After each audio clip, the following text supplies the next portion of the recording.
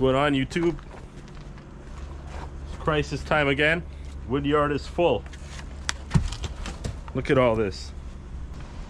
And I've done lots of cutting and throwing up all these blocks here. You can see all these blocks are like proper length here. But I just got this ash in and I'll have to dwindle this pile down because I'm absolutely full.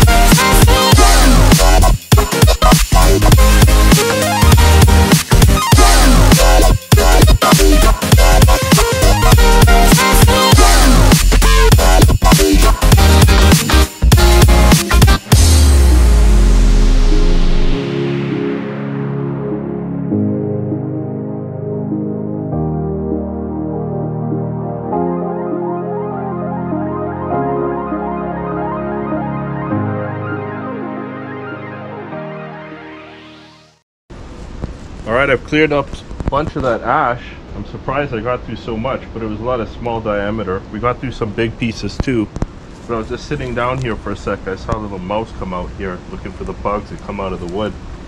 I did have a friend come and help me for a little bit, and um, he pushed the big blocks over towards the splitter, dumped a couple wheelbarrows and stuff. Just came to help me out for a minute. It's getting pretty late here. It's 3 a.m., but it is what it is. I want to get back a little bit behind the splitter over here, or, or behind the wood pile over here, maybe to about here, and split all of this here, and then I'll feel kind of accomplished for the day.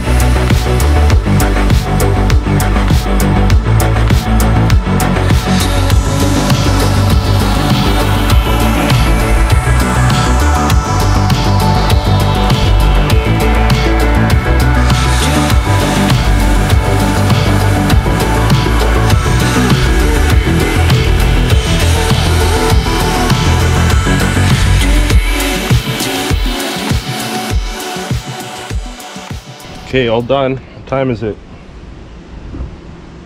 4.30.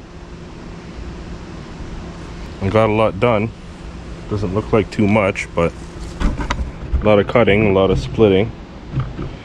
I guess we've done, the only way to measure is start from here. This is where the wood started. One, two, three, four, five, six, seven, eight, nine, ten, eleven, twelve, thirteen, fourteen. If I move these blocks back, which I would, I'd make this um, level right here or even for when I dump another load. I wouldn't just leave these here, I'd push them off to the side.